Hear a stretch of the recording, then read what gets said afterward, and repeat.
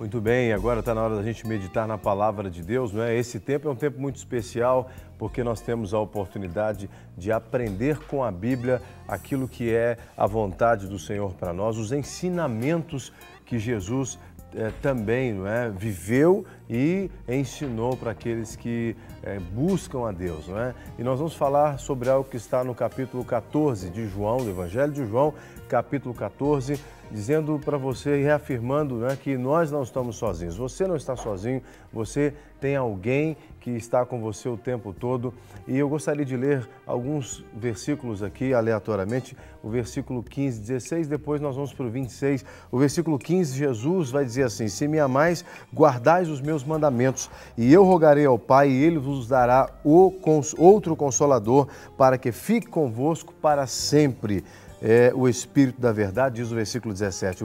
O, Espírito da Verdade que o mundo não pode receber, porque não o vê nem o conhece, mas vós o conheceis, porque habita convosco e estará em vós. E lá no versículo 26 está escrito assim: Mas aquele consolador, o Espírito Santo, que o Pai enviará em meu nome, esse vos ensinará todas as coisas e vos fará, fará lembrar de tudo quanto vos tenho dito. Interessante que Jesus fala: rogarei ao Pai e ele enviará outro consolador. Porque o próprio Jesus era alguém que consolava né, os seus discípulos naquele momento em que ele andava com eles. É, quando as pessoas vinham até Jesus por problemas, dificuldades, lutas, pessoas que é, esperavam uma resposta né, é, para a sua vida, uma solução para a sua vida, Jesus as consolava, muitas vezes com uma palavra de edificação, às vezes uma palavra de consolo, às vezes uma palavra de admoestação, de exortação, às vezes também é, um milagre que ele operava na vida da pessoa. Jesus trazia consolo àquelas pessoas, mas ele sabia que ele precisaria ir ao Pai não é depois que ele morresse, ele sabia que ia morrer e sabia que, seria levado a Deus, não é? Então, ele disse: Eu vou orar ao Pai. Esse contexto em que Jesus fala isso é, é o contexto onde ele fala que ele iria para o Pai, preparar lugar, né? mas ele não deixaria as pessoas órfãos. Né? Então, aqueles que crerem no Senhor, que amam o Senhor, ele oraria ao Pai para que o Pai enviasse outro consolador que continuasse com eles para sempre. Não é? Obviamente, Jesus falava isso naquele momento para os seus discípulos, mas é uma realidade que vale para nós hoje também, porque o mesmo Espírito Santo que Jesus enviou naquele momento, há dois mil anos aproximadamente atrás, não é? é o mesmo Espírito Santo que nos consola ainda hoje e faz aquilo que Jesus disse, que nos ensina e testifica da verdade. Então você precisa entender que você não vive a vida sozinho aqui na Terra e você não precisa tomar decisões sozinhos, sozinho. Você não precisa realizar a sua vida, é, é, viver a sua vida aqui na Terra sozinho. Talvez você possa pensar assim: ah, embora eu more na minha família, com a minha família, eu, eu me sinto sozinho, não tem ninguém comigo. Tudo que eu tenho que fazer é por minha conta. Ninguém, não tem ninguém que me ouve, não tem ninguém que me dá opinião. Né? Você precisa acreditar naquilo que a palavra diz. E a Bíblia está dizendo aqui, o próprio Jesus, está registrado aqui na Bíblia, no Evangelho de João, e se nós o amamos, nós vamos obedecer os seus mandamentos e ele vai é, fazer com que o Consolador, o Espírito Santo, venha nos ensinar a verdade. Não é? A sabedoria que nós precisamos é o Espírito Santo que nos vai, vai nos dar.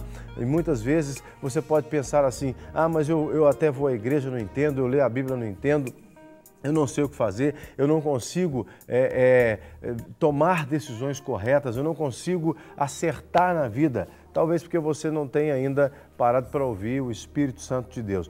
O Espírito Santo de Deus, ao contrário do que muita gente pensa, né, ele não é uma força, é um poder simplesmente. O Espírito Santo é uma pessoa, não é? Ele é uma das pessoas da Trindade. Né? Deus é um Deus triuno. Ele é o Deus Pai, ele é o Deus Espírito Santo, ele é o Deus Filho, não é? Então é, é um Deus triuno, é o Deus da Trindade, são três pessoas numa só. Agem de cada um tem a sua função, agem é, juntamente um com o outro, mas operam é, cada um com funções específicas, não é? E o Espírito Santo ele está conosco hoje para nos consolar e para testificar a verdade de Deus. Então muitas vezes você sente algo no seu coração dizendo assim: não faça isso, não vá por esse caminho, não fale dessa forma, você pode pensar assim, isso é coisa da minha cabeça. Muitas vezes pode ser o Espírito Santo né, tentando te dirigir e você às vezes não, não se deixa ser dirigido pelo Espírito Santo de Deus, porque o Espírito Santo é o único que pode é, testificar no nosso espírito né, aquilo que é a vontade de Deus para a nossa vida. A Bíblia vai dizer que ninguém pode dizer que Jesus Cristo é o Senhor se não for pelo Espírito Santo de Deus. Né? Mas eu preciso é, buscar a presença, a manifestação do Espírito Santo na minha vida. E como é que eu tenho a manifestação do Espírito Santo na minha vida? É quando eu recebo Jesus Cristo na minha vida como Senhor e Salvador dela. É quando eu reconheço que não há salvação em ninguém mais senão em Jesus Cristo. É quando eu, eu leio na Bíblia, né? é quando eu ouço o culto na igreja, é quando eu entendo que Jesus Cristo, ele veio, se entregou na cruz para dar a sua vida pela própria humanidade, por toda a humanidade, e eu aceito esse sacrifício, essa obra salvífica, eu aceito aquilo que Jesus fez na cruz do Calvário, aí eu reconheço que ele morreu naquela cruz pelos meus pecados, mas também reconheço que Deus o ressuscitou ao terceiro dia e que hoje Jesus está à direita de Deus Todo-Poderoso, mas que o Espírito Santo de Deus me foi dado como esse consolador, o Espírito da verdade, que vai testificar de tudo aquilo que eu preciso saber.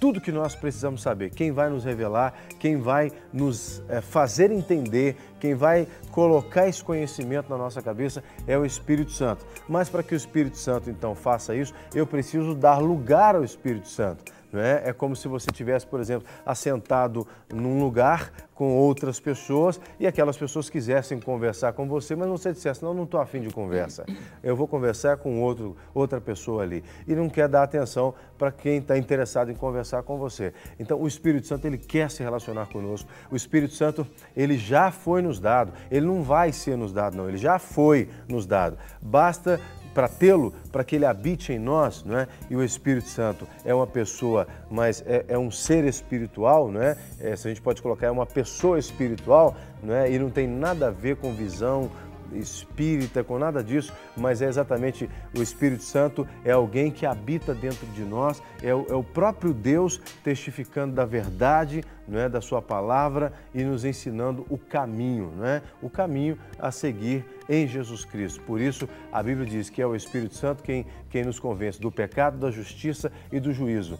Então não adianta alguém dizer para outra pessoa assim: você está pecando, você está errando, você tem que parar de pecar. Quer dizer, você pode até dizer, mas se o Espírito Santo não convencer essa pessoa no coração dela de que ela está errando mesmo, de que ela precisa mudar de vida e que se ela mudar de vida, a vida dela vai para o brejo, ou seja, ela vai se perder, ela vai se prejudicar aqui na terra, e, consequentemente, também né, na eternidade, se o Espírito Santo não convencer essa pessoa, ninguém mais convence. Mas para que essa pessoa seja convencida, ela precisa né, reconhecer Jesus na vida dela. Agora, para essa pessoa reconhecer Jesus na vida dela, aí vem outro passo nós precisamos falar de Jesus para as pessoas. Nós precisamos evangelizar as pessoas. Precisamos dizer para as pessoas: olha, você não precisa continuar vivendo essa vida, porque Jesus Cristo, ele trouxe uma nova oportunidade de vida para nós, não é? Então, para que o Espírito Santo atue, nós precisamos anunciar a Jesus Cristo, para que outros reconheçam Jesus como Senhor e Salvador de suas vidas e orem dizendo: Senhor, eu te recebo na minha vida, Jesus, como meu Salvador, como suficiente Senhor da minha vida e eu só quero o Senhor. Daí o Espírito Santo passa a fazer morada em você. E aí tudo que você precisa saber, pergunte ao Espírito Santo e ele vai te ajudar, vai te orientar. Em qualquer área da sua vida, ele é especialista, sabe de tudo, não é igual aquela propaganda, sabe de nada inocente? Nós é que não sabemos, mas ele sabe de tudo sim, né? e o Espírito Santo, embora seja inocente, sem culpa alguma, não é? mas ele sabe de tudo e ele quer revelar a verdade de Deus para a sua vida. Nós vamos orar, não é que você possa então deixar o seu coração disponível Fale com Deus, Deus me dê um coração ensinável para que eu possa aprender a viver uma vida de acordo com a tua palavra, de acordo com a tua vontade, em nome de Jesus.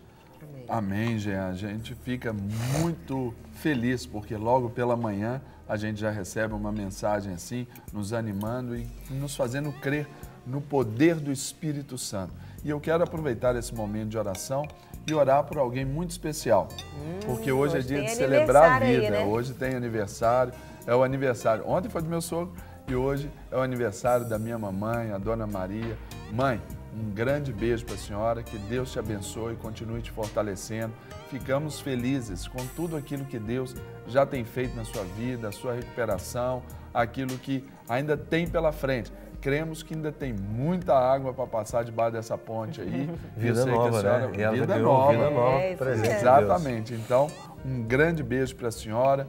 Deus abençoe. Receba um beijo meu, da Aline e dos meninos Não, também. e nós aqui também. Ah, nós também estamos mandando. Dona Maria, um beijo grande. Nós oramos aí pela senhora, pela recuperação e ficamos muito felizes. E se a senhora está completando mais um ano de vida, é porque Deus continua tendo um propósito na sua vida, que a senhora venha cumprir esse propósito com alegria realmente no coração, porque é uma grande alegria fazer aniversário. Um beijo grande. E é um privilégio, viu, Dona Maria, envelhecer na presença do Senhor. A senhora tem história para contar, não é? E experiências para contar com Deus, milagres que a senhora tem recebido, não é? Que Deus possa te surpreender ainda mais no dia de hoje, em nome de Jesus. Amém. Então, nós vamos orar agora pela minha mãe e orar por Amém. você, querido telespectador, também. Amém. Glória a Deus. Pai, nós queremos agradecer o Senhor pelo Espírito Santo, o Espírito que o Senhor nos enviou da parte do Pai, para que comunicasse conosco a respeito de todas as coisas, ó Deus, do reino do Espírito. Obrigado por esse Espírito Santo que intercede por nós e que não nos deixa sozinhos. Ainda que um dia o Senhor disse, disse aos seus discípulos que o Senhor estaria indo ao Pai, mas nos deixaria o Consolador, é por este Espírito, ó Deus, então, que nós queremos viver, entender e conhecer e ter experiências íntimas com o Senhor.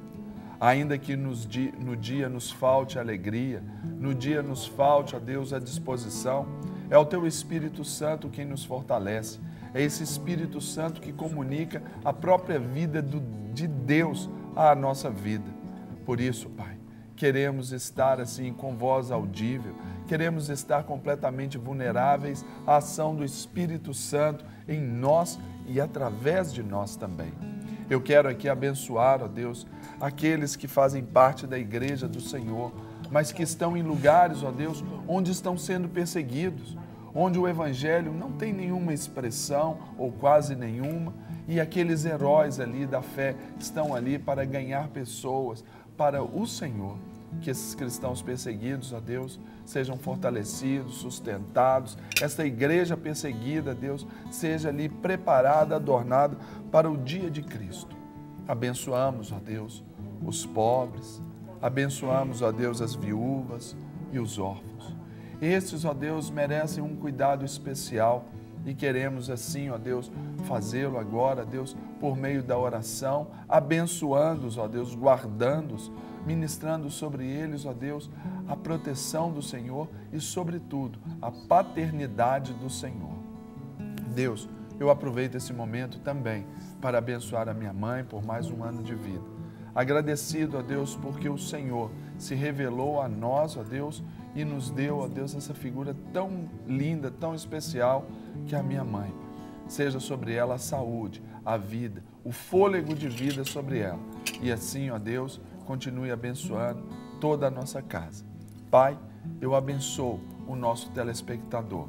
Eu abençoo este que é um parceiro da Rede Super, na sua audiência, que faz parte dessa campanha Super Juntos. Abençoamos, ó Deus, para que esses mantenedores deste projeto, esses mantenedores, ó Deus, deste culto, desta missão aqui, ó Deus, nós os abençoamos, porque, ó Deus, nós precisamos deles. Que o Senhor mulheres desprendidos, ó Deus, com liberalidade, ó Deus, para sustentar essa obra, manter a obra do Senhor, ó Deus, ativamente. E assim, ó Deus, eu abençoo o dia desse querido telespectador, hoje e sempre, em nome de Jesus.